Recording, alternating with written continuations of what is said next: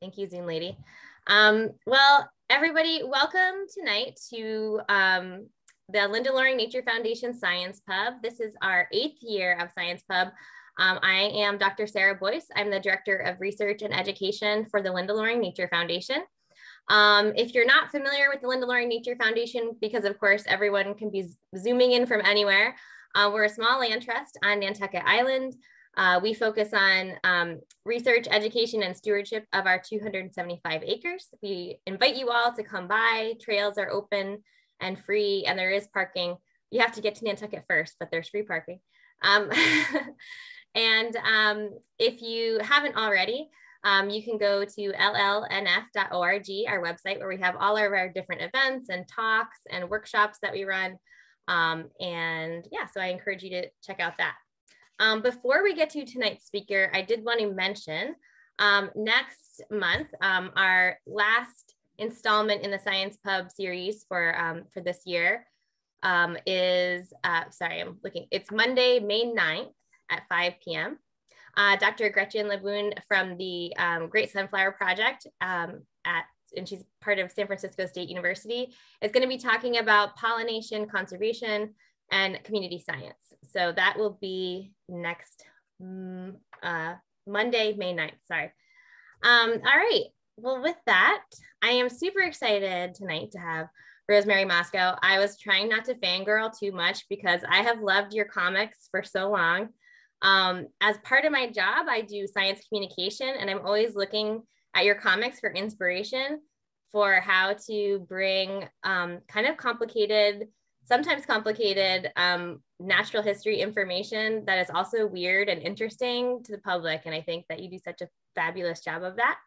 Um, Rosemary Mosco is the um, author of Bird and Moon Comics um, and an amazing science communicator, many graphic novels that include science and nature.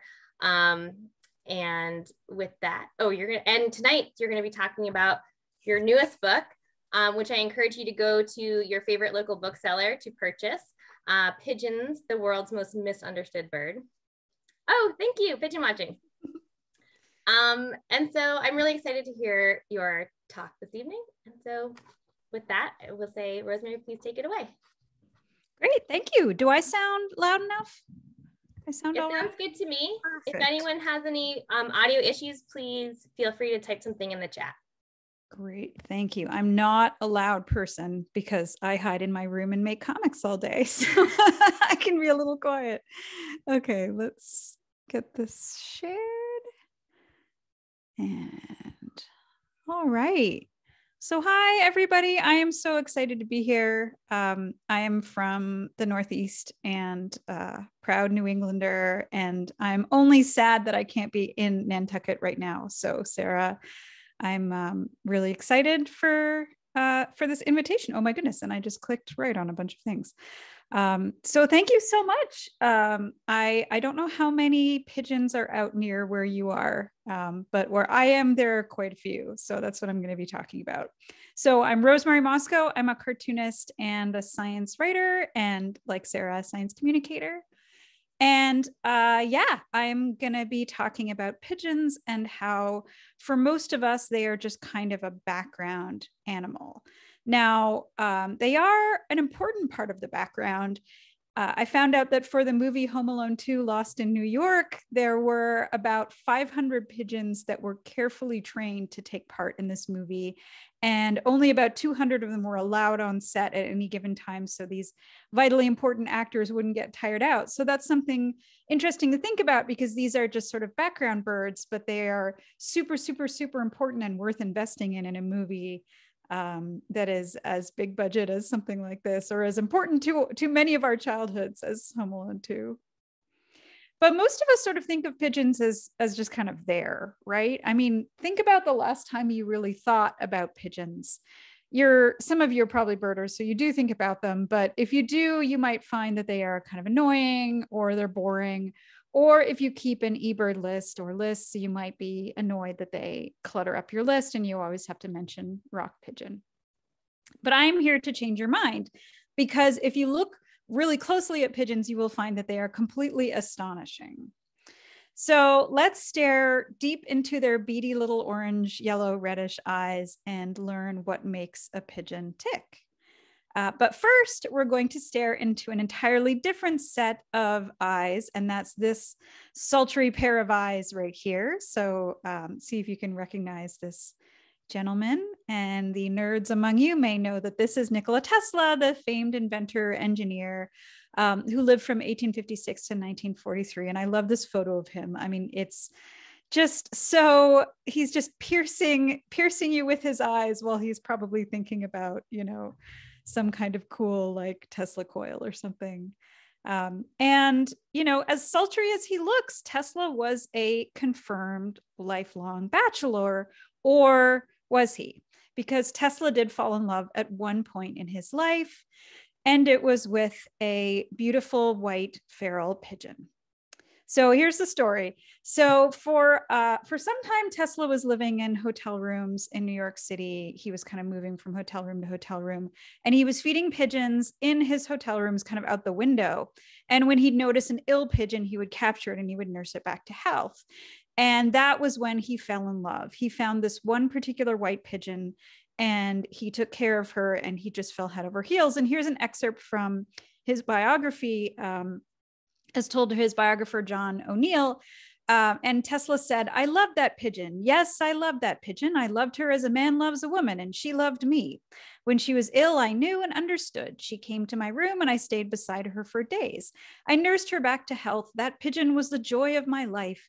If she needed me, nothing else mattered. As long as I had her, there was purpose in my life, which is a lot of affection for pigeons. So, my hope with this talk is that you too will fall in love with pigeons, maybe not quite as intensely as Tesla, um, or at least you will fall into some kind of vague interest and it will enrich your bird watching or other science explorations. But first, we have to get the basics out of the way. So, when I say pigeon, what exactly do I mean? And I've been kind of playing a trick here because I've been talking about one species. So, pigeons belong to a scientific family called Columbidae, which comes from the Latin word for pigeon or dove. And it's a huge family, and it's a remarkable family with tons and tons of really incredible members, including possibly its most famous member, which would be the dodo bird. So, the dodo bird has been kind of reclassified as a member of the pigeon and dove family. And you can kind of see it. This is a more modern restoration of the dodo bird, and I'm happy to talk later about the differences between the modern and the older reconstructions but you can kind of see it. It's walking around on the ground. It's got that kind of like bulbous bill. It looks kind of pigeony, got pigeony eye. But there are some spectacular modern day examples of the pigeon and dove family. And here are two of my favorites. On the left, the Nicobar pigeon, and on the right, one of the bleeding heart doves, the Mindanao bleeding heart dove. And the bleeding heart dove is not actually injured. It just has feathers that make it look exactly like it's been shot through the heart and you're to blame. And I think it's it's just an incredible bird. And they're both beautiful and amazing birds. Um, you may have noticed, though, that I mentioned one pigeon and one dove, and there isn't really a clear distinction in these photos between pigeon and dove. So, what is the difference between a pigeon and a dove?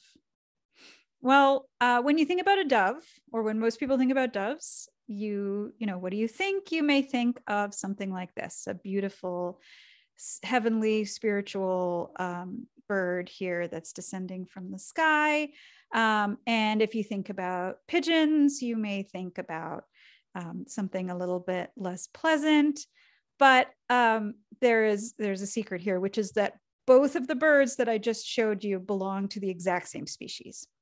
So pigeons and doves are um, basically the same thing. There's no real scientific difference between the two of them. So within the family Columbidae, English speaking people basically threw the name dove at some of them and the name pigeon at other ones, regardless of how they're related. So you can't take all the pigeons and all the doves and go, these groups are interrelated. These are, you know, separate separate little groups. They're not. Um, we just kind of randomly applied these names depending on sort of what we were feeling at the time. And the reason there are these two names for the same bird um, likely date back to the Norman conquest of England in 1066. And I can't totally validate this, but the word pigeon, that's, that's French, And the word dove comes from um, Germanic and Norse and, and Old English and all of that good stuff. So the Normans came over, they brought the French, and that's probably why there's two words for the same bird. And what that means is that when Noah released this bird of peace out of the side of his ark, he was really hucking a pigeon out the side to try to get it to bring back some nesting material. So when people say pigeon, um, most of them mean this one particular species, even though there's tons and tons of them. And this is Columba livia, livia coming from a word for bluish gray. But it's also known as the rock dove and the rock pigeon. So you can see it's either a pigeon or a dove. It's also known as the common pigeon, the rat with wings, or hey, you get off my balcony. But for simplicity's sake in this talk, I'm just going to call it the pigeon. Just be aware that there are so many amazing pigeons and doves in this family. And you can't talk about pigeons without talking about people. This is one of my favorite uh, photographs. It's been memed all over the place. This is a statue of Cain. He's not actually sad that there's a pigeon on his head. So the history of pigeons and people uh, are inextricably linked. Like you will you will come to see how incredibly linked we are. We have been together for a very long time. We have a relationship that has outlasted most relationships. And this relationship stretches back before written history and even before you know necessarily um, the human species was where it was at because neanderthals were eating Columba livia pigeons 67000 years ago at least. So there are there have been bones found with evidence that neanderthals were eating them. And given that um, really recent research says that we all probably have a little bit of neanderthal in us um, that means that some of our ancestors were eating pigeon now, wild pigeons, wild Columba livia pigeons, lived in parts of Europe, Africa, and Asia. And this is a really rough map that I pulled from Wikipedia. It's pretty much impossible to say where Columba livia pigeons used to live um, for reasons that will become clear because we have muddied the water so much on this issue by um, moving pigeons around. So, uh, about 12,000 years ago, people in an area of the Middle East called the Fertile Crescent, which you can see on the right there, it's kind of vaguely crescent shaped, started to build permanent settlements and they started to farm the land. And in particular, on the left, you can see they started to farm grain. Now, everybody knows that if you drop some bread or hot dog bone on the ground, a pigeon will run over and grab it. And that's because pigeons love to forage for grain on the ground. So this was the perfect recipe. So pigeons love grain. They started to eat the grain that the people were growing and they started to nest in the houses of the people. And then something happened. The people started to think, hey, these birds could be useful. And they tamed them and they built special homes for them and they shaped them by controlling their breeding, which is to say that they domesticated them just like the, the horse or the cow or the the pig or the chicken or the dog or the cat or the goat or any of the other animals that we've domesticated. Okay, wait. So uh, this is when you should imagine a record scratch because why on earth would we domesticate pigeons? Because when you look at a cow, you think, um, you know, depending on who you are, but that animal could provide milk or meat or hide and you look at a chicken, you think, oh, eggs or meat could come from that animal. Um, a dog is clearly there for guarding, guarding our houses or companionship, and cats are clearly there to mess with us so that we're always on our toes and we never feel quite comfortable inside our own homes. Um, but uh, oh, I just got a whoops. I just got a, a notification from PowerPoint, but I'm hoping you can all see my screen, correct? Okay.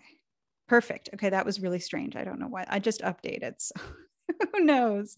Um, it's very important that you see my GIF of this cat knocking something over. So uh, look, look at a pigeon though, and think, why did we domesticate that animal? Um, well, it turns out that pigeons are really, really useful. They are basically the Swiss Army knife of birds if one of those tools was a big old pile of poop because one of the reasons to domesticate pigeons is that you can fertilize crops with their poop.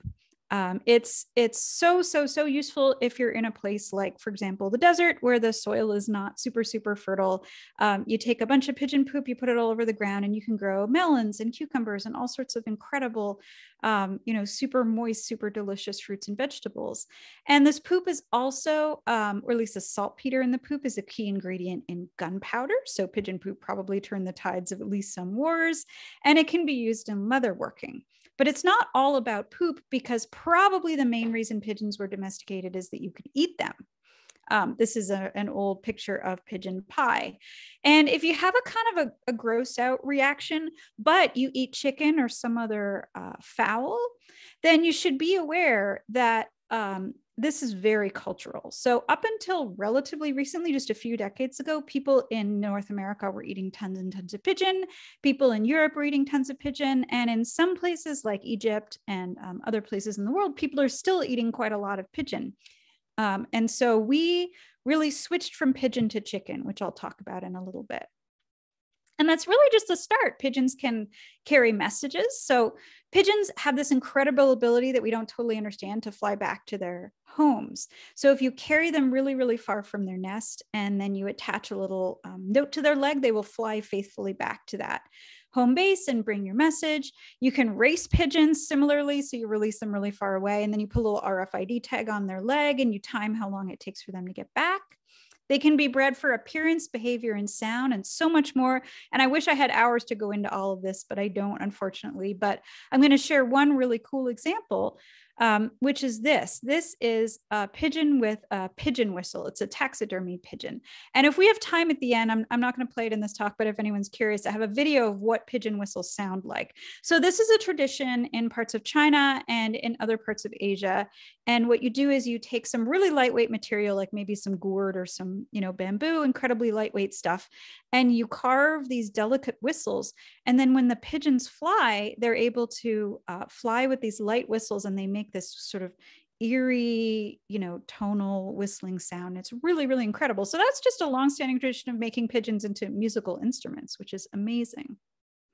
So uh, back to domestication. So people domesticated pigeons, um, but over time, pigeons became more than just kind of food or poop. They became symbols of peace and hope and love. And think about doves being connected with tons and tons of uh, religious symbolism. There's so many doves in the Bible. There's so many doves in um, all kinds of other religions. And uh, Ramses III, who ruled Egypt from uh, 1186 to 1155 BCE, sacrificed over his lifetime 57,810 pigeons to the god Ammon. Um, not all at once, but still, that's an unbelievable amount of pigeons. So, how do you get that many pigeons? Well, the answer is that you farm them, but you can't just put pigeons in like a barn. So, in the wild, pigeons used to nest in holes and cliffs. And you can see an image here. Um, they like flat surfaces. They'll put a couple twigs on there, but really they're relying on the flat surface to keep their, their chicks um, healthy and from falling off the cliffs.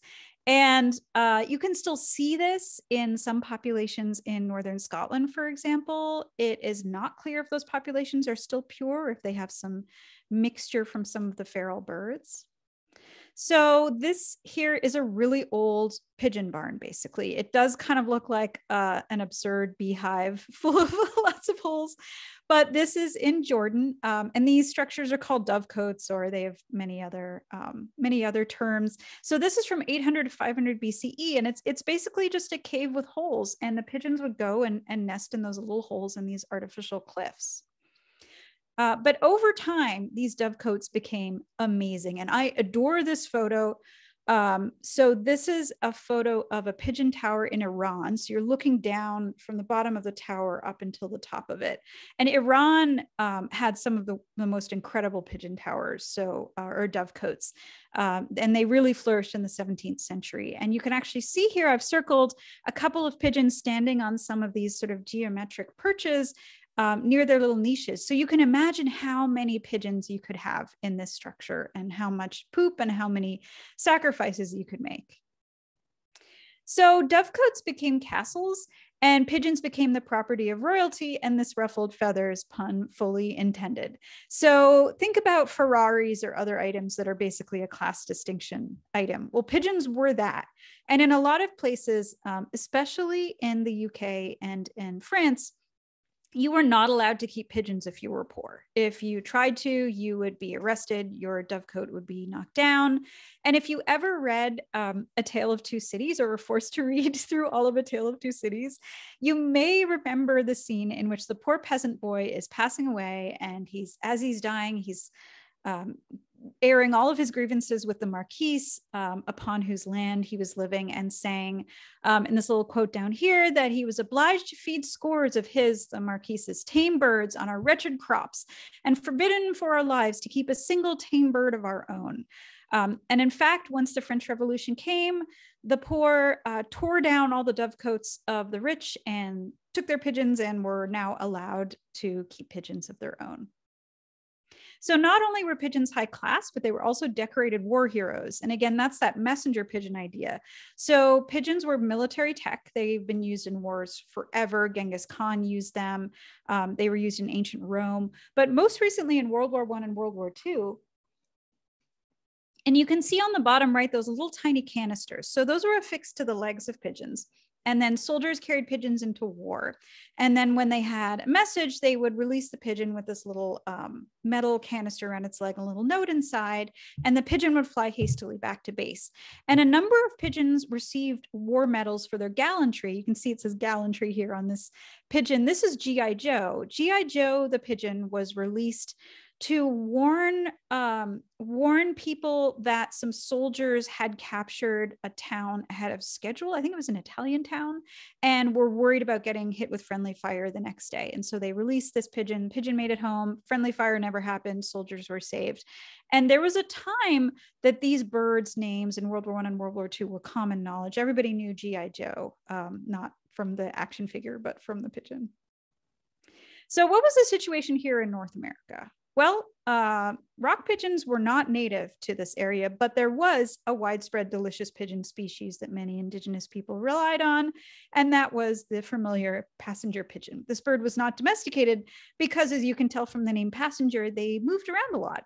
So they were migratory. Um, the pigeons in Europe and Asia and Africa, the Columba livia pigeons, were not migratory. So they just kind of hang out all year and you could exploit them all year. Um, and these birds were really important for indigenous peoples, especially the Seneca. We have a lot of um, writing on how important this was for the Seneca, and they uh, managed the pigeons in a really careful and thoughtful way. But then, of course, colonists showed up and they destroyed them. Um, and what a lot of people don't realize is they ate a lot of them. So we ate so much passenger pigeon um, in North America up until they went extinct. But um, just like the, the people in North America, folks in Europe could not imagine a world without pigeons. So they intentionally brought over Columba livia with them to North America in the early 1600s. You could not live without pigeons.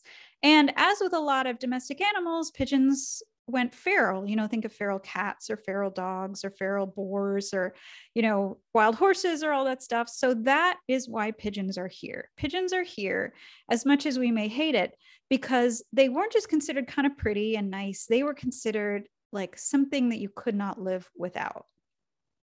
So, if pigeons were once so beloved, how did they go from decorated war hero looking incredibly proud to uh, rats of the sky and being considered just these hideous monster animals?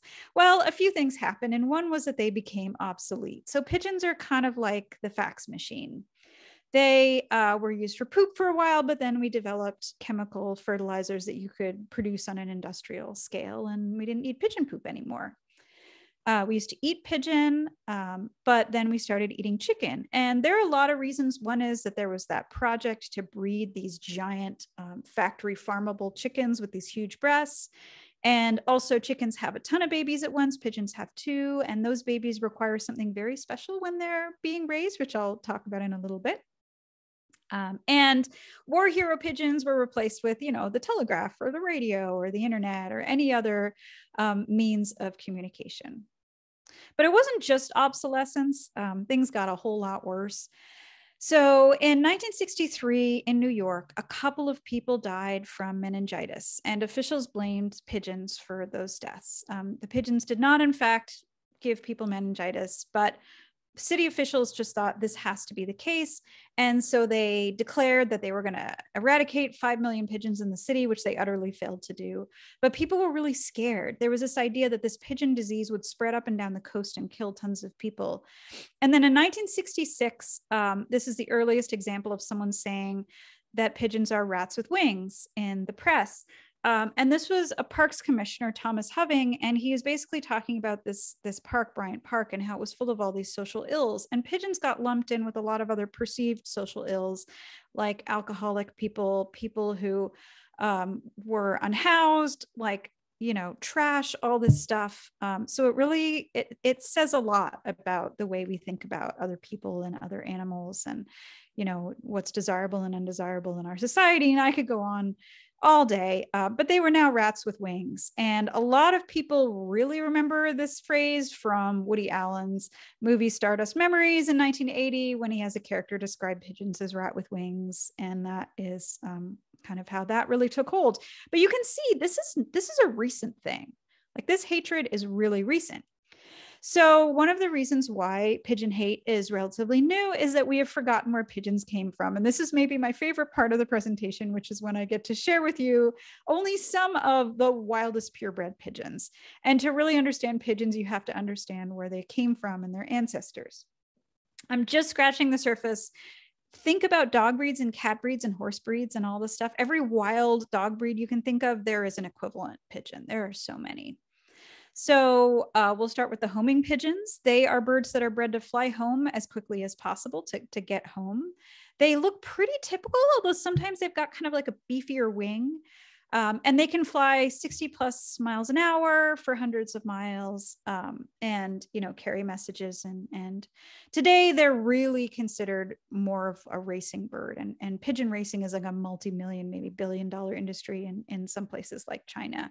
Um, if you find a bird that looks like this this bird is probably not going to make it super well in the wild. So be away be aware that it might need your your help and to be rescued then there's utility breeds, which is a euphemism if I ever heard one, because what they are utile for is their meat. So these are just big, beefy birds. This is a bird that's four times heavier than most pigeons, and it was bred for meat. And you can see down here someone um, patting their lap. American giant runt pigeon. Nobody knows why they're called runts. It's not an intentional pun. Um, but yeah, they can make great uh, lap lap pigeons. And I'm going to talk about some of the ornamental breeds because they're incredible. So for oops, for every trait that pigeons have, there is a breed that takes it to the extreme. I, sorry, I was just overwhelmed with enthusiasm for ornamental pigeons. So, uh, if you like the puffy neck of a pigeon, you may enjoy one of the pouter breeds. Not only is this bred to have a huge puffy neck, but um, it's bred to stand so erect that you can see its its knees at the very top of its legs where they join the chest.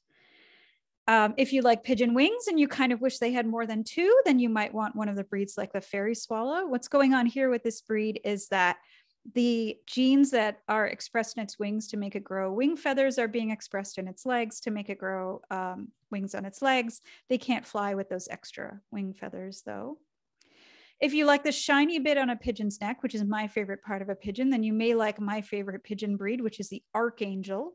Um, if you look at early, you know, sort of like Mediterranean, uh, Mediterranean, uh, middle age um, paintings of angels you'll see there they had really colorful wings you know shiny shiny stuff. There's a whole tradition of angels with colorful wings and that's what this archangel looks like. They just have that shininess but spread all over their bodies. If you hate the shiny bit of a pigeon's neck for some reason and you maybe wish it didn't have any feathers there at all then you might want to see a romanian naked neck tumbler for some reason. Truly a specialist pigeon breed so that's just the scratching the surface because fancy pigeons are basically pur- purebred dogs. There are curly winged ones like this frillback here that is, in my mind, basically indistinguishable from a cute puppy. And if you're more of a cat person, you might be interested in a breed like the Jacobin on the left here, which is designed to look just as aloof and elegant as a fancy kitten. And because of this ancestry, feral pigeons are gorgeous and incredibly cool to look at. On the top left, you can see the um, the original sort of uh, wild type of the pigeon. It's this kind of gray bird with these two bars on its wings. But on the bottom are some feral pigeons. And the one in the middle is a photo that I took. And then these are two other ones that I pulled from the internet. Um, but they can be red and brown. They can be gray, white. Um, their eye colors for these three birds are different. So the one on the left has what's called a pearly eye. On the right, it has um, what's called a bull eye, where the pigment is gone from the outside of the eye. So it's you can only see the dark stuff on in the back of the eye. Just incredible. Their beaks are all different colors. They're so neat. And it's not just about color. This is um, some cool research by a woman named Elizabeth Carlen, who is a scientist um, who used to study pigeons. And she sent me these photos of cool birds that she's seen that have domestic traits, like on the left, a bird with a fancy crest, and on the right, a bird that's expressing some of those uh, foot feather genes. And wing patterns also vary. And this is maybe one of my all time favorite facts about pigeons. This is so cool. So here is a photo of kind of a, a, typical flock of pigeons. And I've pointed to three birds here, all of which have that wild type wing pattern that's just kind of like a smooth pale gray with two dark stripes.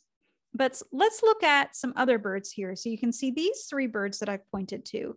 Their wing pattern is almost entirely dark with a few little kind of speckles of light, or you could see it even as just light with a few little speckles of dark. So, what's going on there is that at some point in the history of pigeon domestication, people blended a bird called the African speckled pigeon, which is a, a, another species, Columba guinea, with Columba livia. Uh, we don't know why. It must have been something about improving the breed. You can see those little speckles on that bird's wings. And the genes from that bird are why we have so many birds that have these speckled genes. Um, and the speckled wing is actually a dominant trait. Um, there's a couple varieties of it.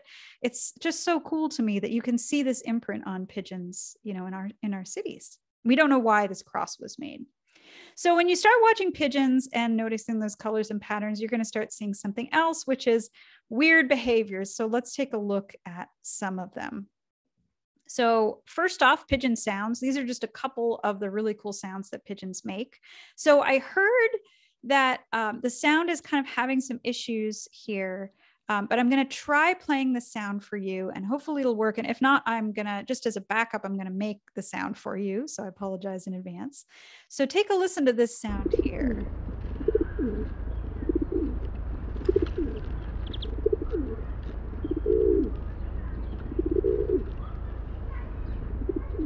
So this sound here is the display coo, and it sounds like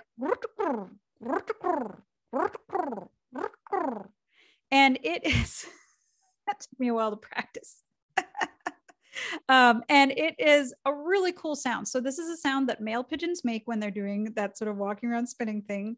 Um, they're bowing and cooing to attract a female, and female pigeons will also do that later too, as kind of a pair bonding thing. And that's kind of the traditional pigeon trilling coo. But there's another coo that you will sometimes hear. And this is a really weird one. So the first time I heard this, I thought there was a guy outside my apartment making a weird noise. So this is called the advertising coo. So I'm going to play it and then I'm going to um, do it for you too.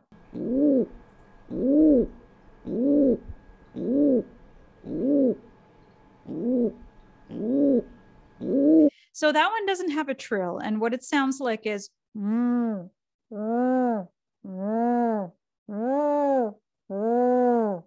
So that is a, a coo that a male pigeon makes when he's found a cool place to nest and he wants to call over a female and say, hey, let's make a nest here. So he stands up on this cool spot and he coos.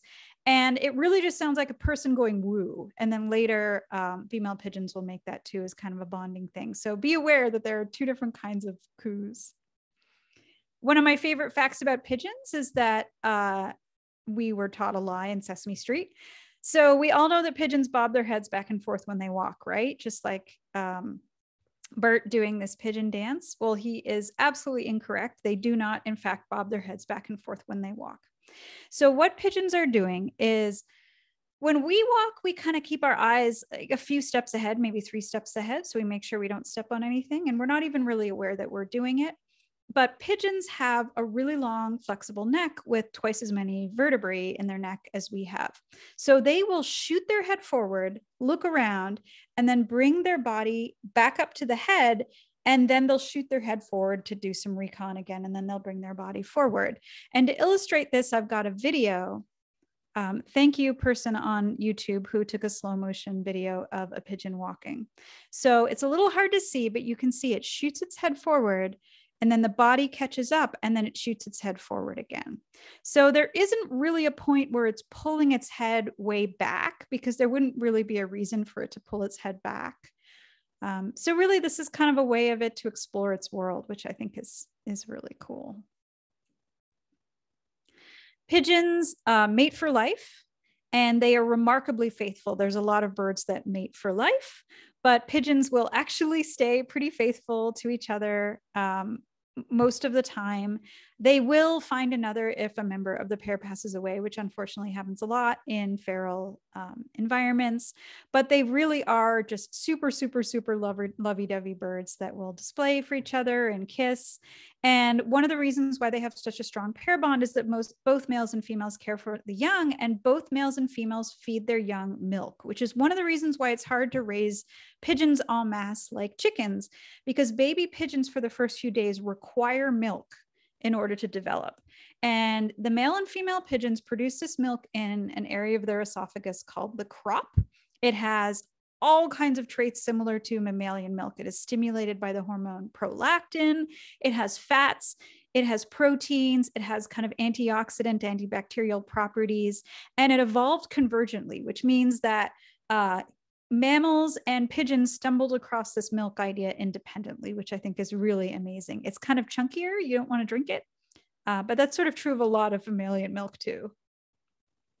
One question that I get a lot is Are pigeons invasive? And I think that's a really good question. And the answer is probably not, although there are situations in which they can cause a lot of problems. And there are some situations in which they could potentially spread diseases to native species.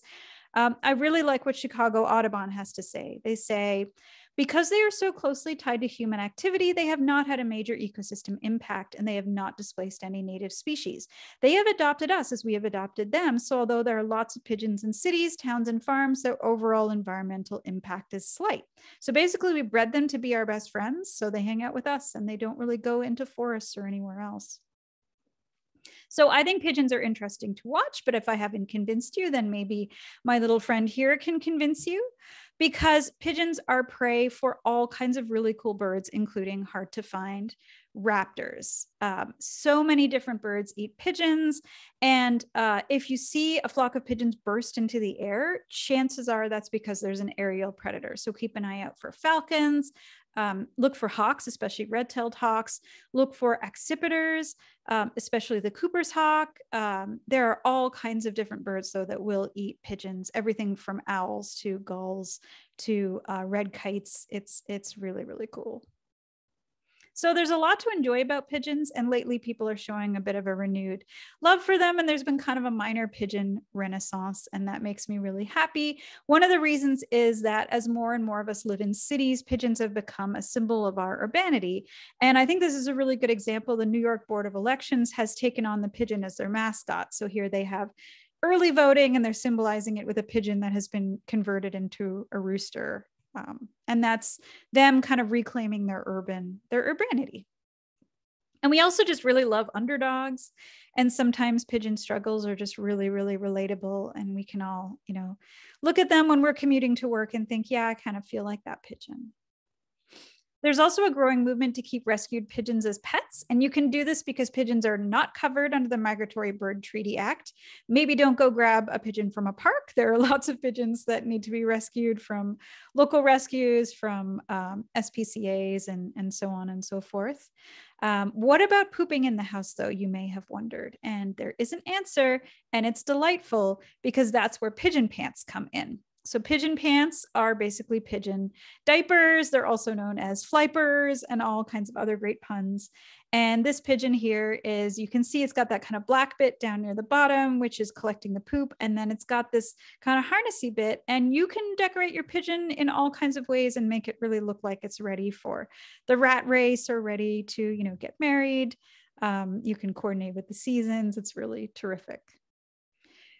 So, to be a little serious for a moment, I really think pigeons are powerful because they connect us with our world. And I don't think that you can fully love nature without understanding the history and context that led to it being the way it is.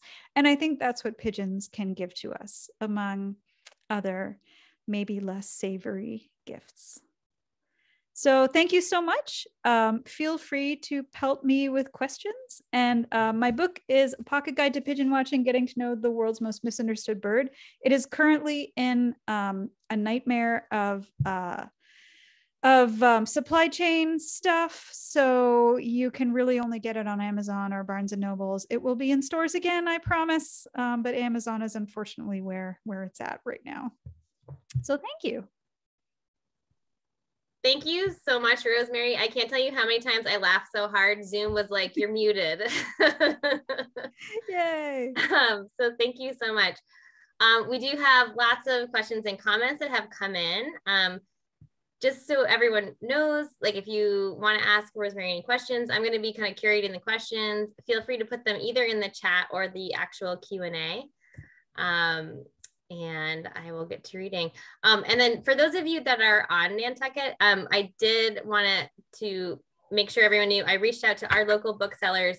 Uh, Mitchell's Book Corner and Bookworks are owned by the same um, people and they did also try to order like a few months ago and they had the same issues so but they did say if you are interested you can go into the store and order you know pre-order if you want to go through um, our local booksellers um, i just wanted to give that plug the local plug too yeah, they they so and I see Sarah McLaren is replying here too. Um, I think you may have emailed me. I'm not sure. Um, and I am so sorry. So in Canada, this was a nightmare. I got on. I'm from Canada. I love Canada. I got on the CBC to talk about pigeons, and the books had been out of stock there from since November, which is basically when the book came out. And I have been calling and calling and calling and fighting, and they are coming. It's going to be a couple more weeks, and I'm just it's it um, uh, don't release a book during the pandemic. It's been an absolute nightmare to deal with that. So it's been really, really hard. but maybe the the so like flip side is your book is in demand. It's like the it's the hot ticket. Yeah yeah i guess so. But it, it was yeah it was pretty pretty early that a shipment kind of just disappeared. So i i have done all i can. My publishers are doing all they can. It's literally just like boats are not moving um, but yeah, now they are moving. So I am so sorry. And they are coming. And yeah, Amazon, the dreaded Amazon has them. Um, also, if you genuinely can't get one, drop me an email and I've got some comps so I can mail them off. If you have tried so hard and failed, I can I can help you complete your mission. Thank you. All right. I'm my scrolling through the oh, I'm clicking on the wrong thing. I'm like trying to scroll through the chat. Okay, so um, I'm gonna jump around with questions if you don't mind. Um, so one person asks, um, could you elaborate on Dr. McCarthy's work on documenting pigeon and duck hybrids? Pigeon and duck hybrids? I have never heard of that. There so, is some knowledge. Okay, so Skylar, if you have more information, I'm interested. Wow. But okay, moving. Yeah, I've never heard of that please let me know. That seems, yeah, I love That's the island of Dr. Moreau. Yeah. Yeah. And I, think that I don't know about that. I don't know about that one. Oh, there's um, a crazy guy on Twitter who claims ducks slash pigeons are a thing. Let me add him because I don't think um I don't think he knows what he's talking about. Thanks, Skylar. I, is it like is that like a jackalope, Skylar? I'm curious. Um, so lots of thank yous. Okay, so um truly enjoyed this entertaining and illuminating program. Um, you might comment on the movement to rename pigeon species, i.e. Uh, rock dove is now rock pigeon based on rounded versus pointed tails, but common names are not as important as scientific ones. Yeah, it's a mess. Um, I know that um, the American Ornithological Union, which had its name changed was it the AU? Anyway, I'm sorry, I'm blanking on it. But they they used to call it uh, rock dove for a really, really, really long time, and then rock dove was changed to rock pigeon fairly recently. And then there was a movement to change it back to bring kind of more decorum to the, the, the rock pigeon because we have this connotation with doves as being nicer, and that utterly failed. So there has been a lot of back and forth, a lot of argument um, I think common names are so messy and everything, you know, from botany, everything's got a million common names. So honestly, call them whatever you want. Um, there, I have a list of international names in my book. You know, people have all sorts of names for them. Maybe not rat with wings, but you can call them anything um, so Leslie says, I heard that pigeons are one of the only birds who can drink or swallow water with their heads down instead of sipping and tilting their head back. Why did this evolve? You know, I don't know why that is. And I'm also really curious. So, um, unlike so when songbirds drink and, and parrots and lots of other birds they dip their lower bill in the water and then they throw their head back and they let the water trickle down their throat but pigeons are able to create suction um, inside their mouths and inside their throats so they can actually slurp water up which is incredible to me um, so they're basically living straws and it's great they don't have to throw their heads back. I don't know why i would love to know if anybody knows why exactly that happened but i wasn't able to find out. Um, but i think it's incredibly cool that they can do that. And i have a drawing in my book of a pigeon next to a little a little drinky straw. Very interesting. Yeah so um, should folks with balconies try to set up possible nesting spots for ferals especially to try and swap fertilized eggs with bakes? Interesting Oh, yeah. Um, I don't think so. If you're trying to reduce the population of pigeons, there's really kind of only one thing you can do, which is um, feed pigeons less. So the number one reason why there are more and more ferals is um, it's it's really food. It's not really how many predators there are or so on. Um, so I think if you're trying to reduce the number of pigeons, um, I don't know that that will help. And also, your balcony will get really, really, really gross. And they reuse nests year after year and they poop and they um, build right on top of that disgusting massive nest every year. And so, um, don't do that to your balcony. That sounds that sounds really unpleasant. If you want them, go for it. Uh, but I have tips in my book for how to get them off your balcony. So, so I I would not maybe not do that. Um, Penny Snow is mentioning um, a, a Nantucket favorite. So she says she laughs every time she goes down to the steamship terminal uh, where most of our Nantucket pigeons hang out, unlike the mainland cities where they're downtown on government buildings. So that like, next time and you we invite you to come to Nantucket, you'll see as you come on the boat, the whole steamship terminal building, that is where all the pigeons are. That's where we would have taken you to be like, come see the pigeons. they Oh, that's so that's such a cool anecdote. I want I mean I also see pigeons under bridges all the time. Mm-hmm. I feel like they love any industrial setting where there's a flat surface for them to to lay their eggs. Um, that's really really cool. That's a cool observation. Um, there's lots of there's you're getting lots of love in the chat in general and thanking you for your talk. Um, one person says not a question but a hello from Dublin, Ireland. I love your cartoons and pigeon books. So thank you for a fantastic talk. That's a a mm. general um, sentiment. I'm glad you got a copy of the book in Dublin. That makes me really happy. Some of them are out there. um, here's another question. If they often mate for life, why do some males still try to hump uninterested females, like when they're literally busy eating? eating? Okay. Okay. Yeah. So sometimes you'll see males that have not paired up yet and are kind of an enthusiastic young bird, or maybe they've lost their partner and they will literally try to like knock a male off of a female while they're mating. Um, but most of the time, when you see a male displaying and a female looking bored, they're already an established pair. Um, and the male is just kind of trying to keep the love alive and also trying to keep her from being um, accosted by other males. So they'll also do a thing where they um, called driving, where the males will chase the females away um, and basically chase them until in some cases they've chased her all the way back to the nest and that's when she's getting undue male attention.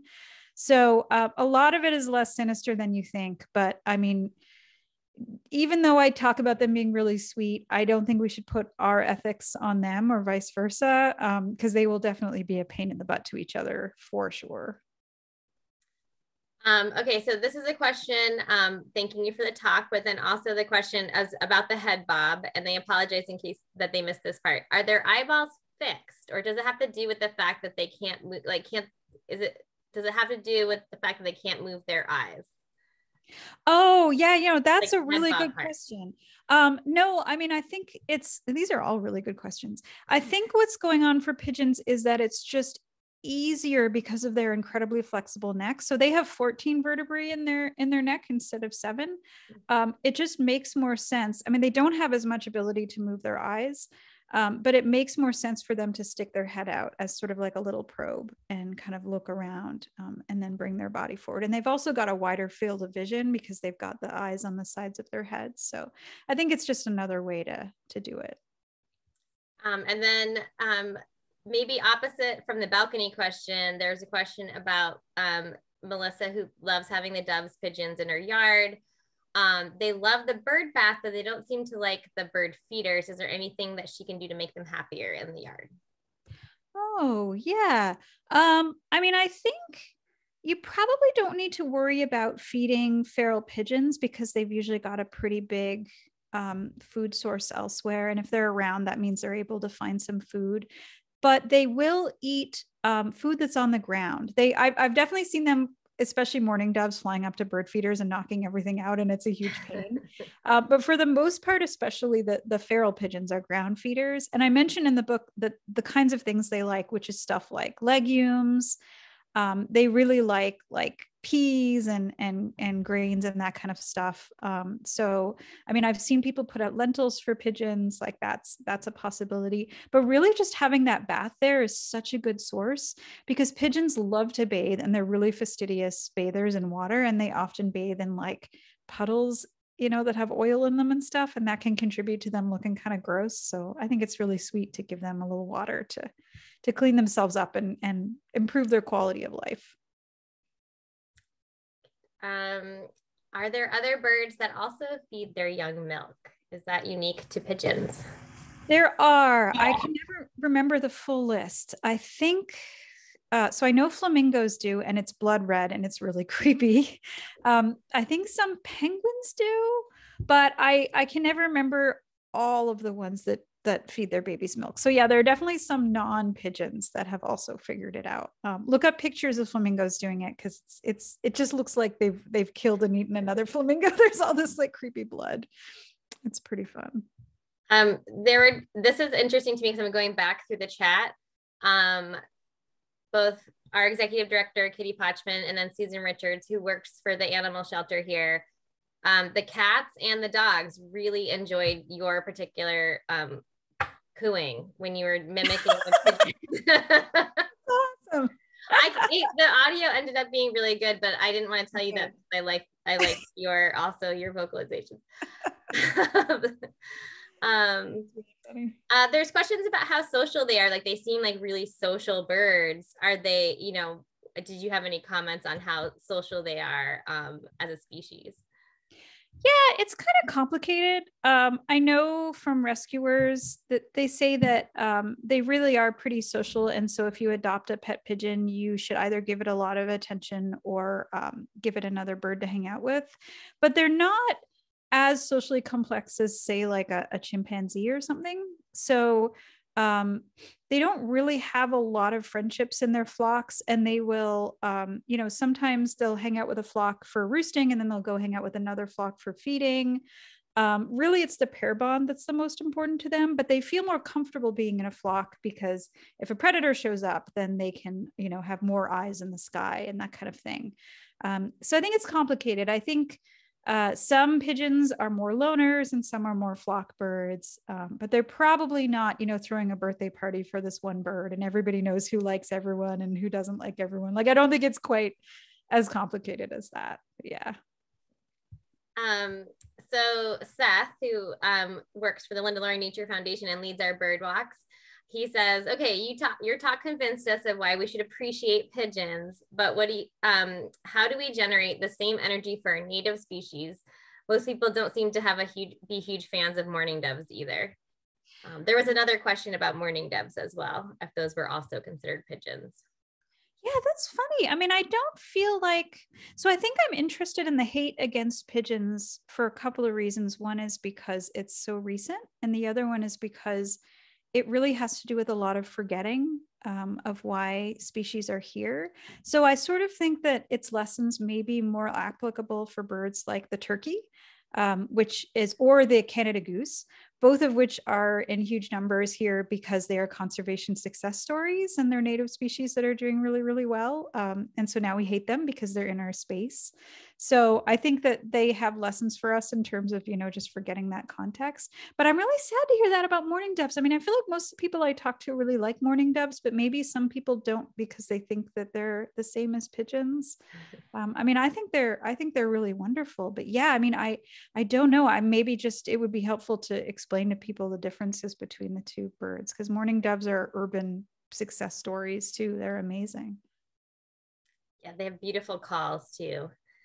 Um, there's a, a, a, fan comment of you do a beautiful job of illuminating us on a family of birds often mi- misunderstood and love your style i definitely um, agree um, i've heard so uh, someone says i've heard pigeons can recognize faces um, and that they are one of the few animals who pass the mirror test can you um, comment on that yeah, uh, it is amazing. There is a whole rabbit hole you can go down on just studies of, of pigeon intelligence, especially in the lab, because they were lab birds for a long time. I mean, B.F. Skinner was doing a lot of work with pigeons. He taught them to play ping pong. Um, there have been some really, really wacky studies. Um, and uh, and yeah, it's um, it's it's so they can definitely recognize themselves in the mirror. They can also um, distinguish between slides that have cancer versus not cancer in a medical setting like human cancer. Um, they can distinguish, um, there was a study that showed them, I think, Indian dance and martial arts, and they could tell the difference between those two. Um, they could tell the difference between um, Monet's and Picasso's, although they couldn't tell if a Picasso was hung correctly the right way. They could they couldn't tell if up or down was the right way to hang a Picasso, which like same to be honest. um, but there's I have a list of them in my book. There's so many wild studies, and it's interesting because they're very smart, but they're also not you know as smart as say a, a raven or a crow. Um, it's all really complicated, but if you uh, swap pigeon babies with another pigeon's babies, they pigeons can't tell. So there are limits to their their understanding too. Uh, but yeah, they're definitely smarter than we think they are. So that's thanks for bringing that up. That's a good point. I have so many questions about those studies. I need to read, read that part of your book. It's like, wait, what? Um, so there's a question um, from a reporter who's based in Phoenix that's working on a story about pigeons. Um, there's a lot of questions specific to Arizona. So I don't know if maybe Hunter, if you could give your contact information, I might pass that on to Rosemary. Yeah, you you're welcome to email me here. I'll put my email in the chat. Okay, great. Um, I don't know. I'm not. I'm northeast based, so I don't know that much about Arizona and pigeons in each area. So we've discovered there's a lot. Um, there's a lot of isolation between different pigeon populations so that they're they can be really different depending on where you are. So I, I might not be able to answer your questions but i'm happy to help out as much as i can. Great.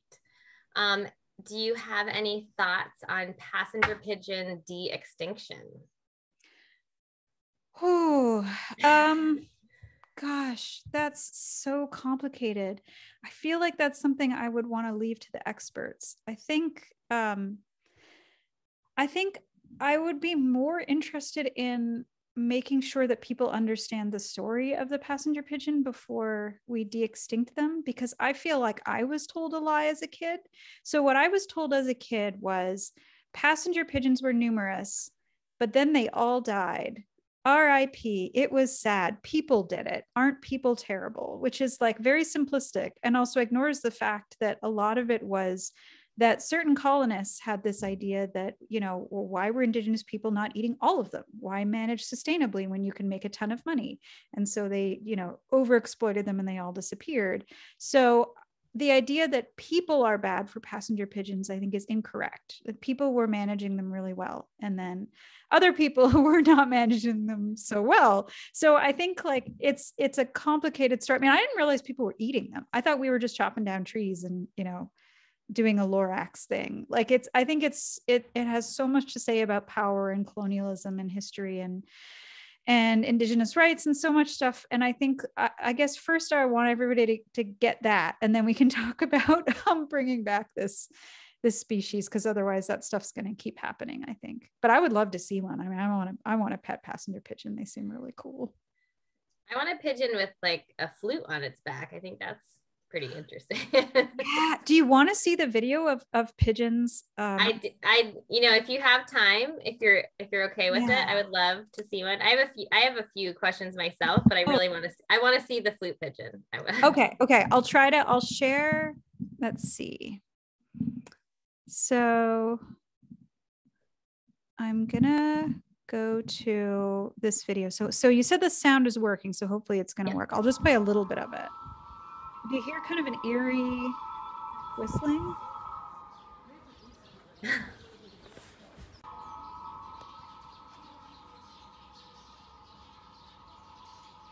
wait for it.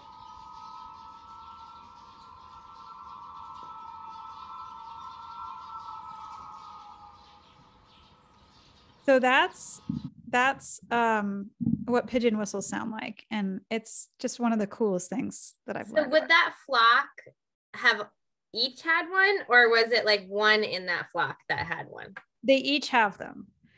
Um, yeah, yeah, and there are. I mean, there's there's whole like museum exhibits just of Chinese pigeon whistles, Indonesian pigeon whistles. I mean, they're they're just they're so they're so incredibly ornate, and they're all different um, and so you can get really different tones. It's it's just incredible. It's yeah it does sound a little eerie sometimes. I think right? it's um so i had a question. I mean i have loved um learning about pigeons and you know i think um one of my things as a science communi- communicator is like helping people love the unloved species. And that's why i love i always share your turkey vulture um, comics.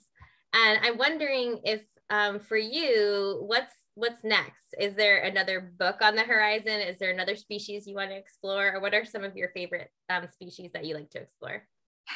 I'm actually so I have some other books coming out. I need to pigeons was like a huge effort. Like I love loved working on it. I had fact checkers. I talked to a zillion scientists. It was much bigger than anything I've done. And so I need to come up with something else, but I'm still kind of in that days of, you know, I put out a book and it was a lot. Um, I really want to do books about um, Canada geese or or urban turkeys or um, house sparrows are another interesting one because house sparrows were brought over because people thought, or at least my understanding is because Europeans were like, well, we got to make this place more European. So let's bring over these birds to make a nice sound. Like we literally have the song sparrow here. Like it's just like unbelievable. so um, there's just so much interesting history that I feel like we're missing. Uh, but I don't have any plans for anything like that right now. I feel like pigeons just had more cachet than a lot of those. So it's a harder, it's harder to twist publishers' arms on, you know, a turkey or something. Well, I, I appreciate the the unloved species that get the get the extra shout out. Um, a few people had a question after that video of whether or not the pigeons themselves could hear the whistle and if it affected their behavior at all. Yeah, I mean, I'm sure they do. Um, I don't know if it affects their behavior. So um, when you think about so those were those were domesticated pigeons and china has an incredibly long history of um, breeding fancy pigeons. So those were birds that have been wearing pigeon whistles you know in in some shape or another for potentially hundreds thousands of years. So um, i would think more about like you know uh, a rescue dog pulling someone out of an ambulance or an avalanche or you know something something like a poodle with its with its funny um, with its funny, you know, haircuts or something. It's similar to that. It's like these birds are here to sort of like we're bred for this purpose. Um, so, you know, I don't think it's harming them or anything like, like that. But you get into all kinds of thorny issues as you do with any fancy breed. I mean, there are pigeon breeds that have beaks that are so short that they can't really feed themselves. Um, there are pigeons that can't see because there's there's feathers in their eyes, just like dogs that you know have tiny eyes or hair in their eyes. It's, it gets really complicated whenever you talk about any animal breeding stuff. Yes. All right. So we're just after six. I'm going to look back. I think we have lots of thank you comments and a new appreciation for pigeons, I will say. Um, and yeah, if there's any other questions right now, feel free to type in, or if I missed your question, um because it was back further in the chat. Feel free to type something up again. I think i kind of went through but um i want to find out about those pigeon duck hybrids because that is just the wildest thing. I know. I i, ha- I happen to know skylar so i'm gonna ask um oh the so the um ken blackshaw um, famous Nantucket birder also just said that he was happy to see that the book is available through our Atheneum, which is our historic local library. Oh, that's nice. Okay, that's good. I'm glad that it's there. Excellent. Um, do other bird species use their wings to slap each other or enemies like pigeons do? I don't know. I heard that swans do that too. Um, but I'm not really sure. I didn't do a deep dive in other in other species. I think swans do it. So for folks who don't know, pigeons, um, when they're feeling really defensive, especially if something comes near their nest, they will make a growl and they'll also hit hit you with their wings. They'll do like a slap, which I think is really cute because it's just so benign. I mean, one of the reasons we domesticated them is they can't really hurt you that much. So they'll just kind of give you a wing slap. It's it's very cute. But yeah, please please mention in the chat if you know other species that do that because I'd be curious. Um, um, Sarah, thank you for staying strong. I'm sorry that your book is still not. Ah, that breaks my heart. As a Canadian, that's killing me killing me. I'm going to try to go back on CBC hopefully when the books arrive, but I may be a million years old at that point. But no, no, I'm, I've been told it's it's a couple weeks. They're coming. All right. Well, there's another, you know, another whole holiday season of pigeon book gifting. So there we go. Um, well, unless there's any more questions right now, I feel like Rosemary, this has been so fun. I learned so much. I laughed a lot. And then I feel like that's you know, learning anytime we can learn something new and laugh at the same time, um, I think that you learn more. I don't know. I always make when I give nature walks, I, I make up silly songs and sound really silly. And sometimes I worry, you know, that it like discredits your science knowledge, but I think it just makes people remember what you said. Yeah. Well, we all know, I mean, sedges have edge, edges and rushes around, and like all that stuff. That that's those yep. are memorable tools. So I want to go on a nature hike with you and hear you singing those songs. That's okay. You're gonna we're you're gonna come with me and we'll do some um, bird calls and we're gonna have some silly plant songs. It'll be great. We'll invite the crowd out. So that oh, that sounds like heaven. Um, well, Rosemary, this was a huge treat for me. I'm so glad um, that you came here tonight, and um, we will definitely have you come out to Nantucket sometime, and hopefully the the book will be available in Canada by then.